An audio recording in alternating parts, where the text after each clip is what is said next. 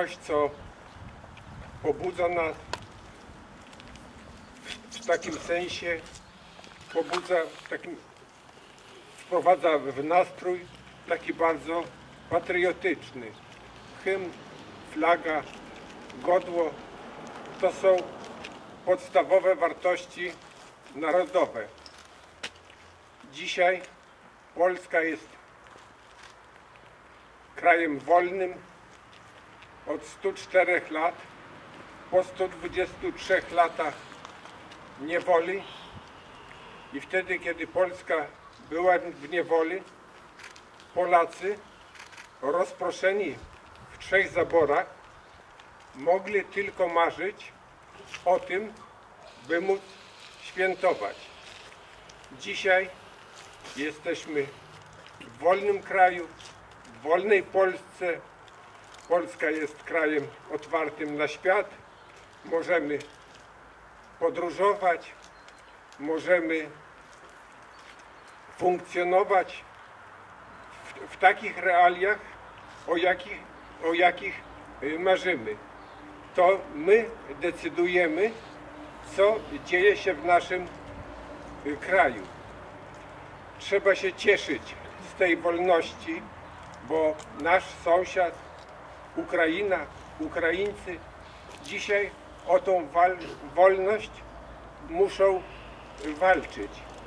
I myślę, że jak obserwujemy te okropne zbrodnie, te okropne wydarzenia, to powinniśmy tym bardziej mieć większą refleksję, żeby zobaczyć jak i, i poczuć, jak wielkie znaczenie ma wolność. Trzeba tutaj też podkreślić, że Polska, Stany Zjednoczone to w zasadzie te dwa kraje udzieliły i udzielają największej pomocy Ukrainie. Myślę, że to wynika też z tego, że nasz kraj, nasz naród zbyt dużo w swojej historii ma cierpień i dlatego pewnie bardziej ich rozumiemy i bardziej to wszystko czujemy.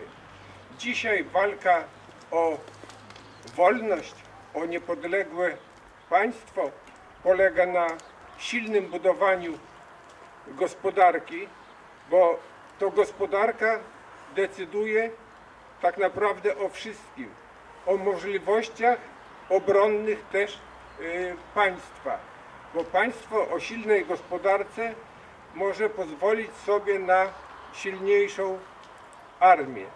Ale też jesteśmy świadomi, że Polska dzisiaj jest bezpieczna przede wszystkim z tego powodu, że jesteśmy w silnym sojuszu w układzie Paktu Północnoatlantyckiego, bo ani Ukraina, ani Polska bez wsparcia innych narodów nie byłaby w stanie zapewnić sobie wolności. Ja cieszę się bardzo, że możemy po raz kolejny spotykać się tu, w tym miejscu, w tym roku może mniej licznie, tym bardziej dziękuję wszystkim Państwu, że Państwo zechcieli tutaj y, przybyć.